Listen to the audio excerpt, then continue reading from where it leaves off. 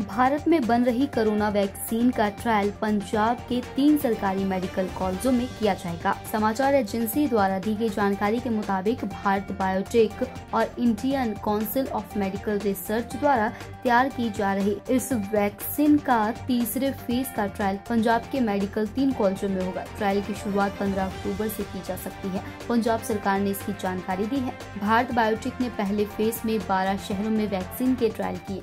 इस दौरान उसमें 375 लोगों ने हिस्सा लिया। बता दें कि भारत में इस वक्त तीन वैक्सीन पर काम चल रहा है। गुजरात की company Zydus Cadila health care limited और सीरम इंस्टीट्यूट पुणे द्वारा क्लिनिकल ट्रायल पहले ही शुरू कर चुकी है। सीरम इंस्टीट्यूट ब्रिटेन के ऑक्सफोर्ड यूनिवर्सिटी की तरफ़ से तैयार किए जा रहे वैक्सीन की ट्रायल भारत में कर रहा है। पंजाब के मुख्यमंत्री कैप्टन अमरिंदर सिंह ने मेडिकल एजुकेशन एंड रिसर्च विभाग अधिकारियों को ट्रायल के दौरान हर सावधानी के सख्ती के साथ पालन की हिदायत दी है।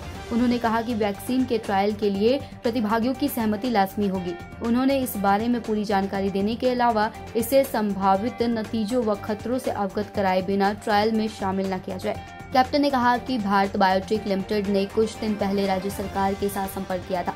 ट्रायल में हिस्सा लेने वाले के लिए किसी भी अप्रिय घटना या प्रभाव या मौत के मामले में 75 लाख रुपए का बीमा कवर किया जाएगा।